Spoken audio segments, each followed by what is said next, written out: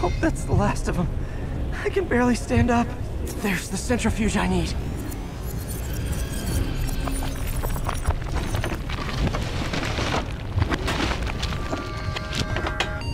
Finally.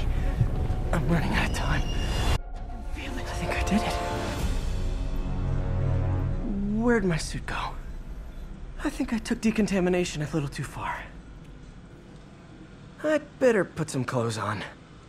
Much better. Let's just go ahead and forget that ever happened.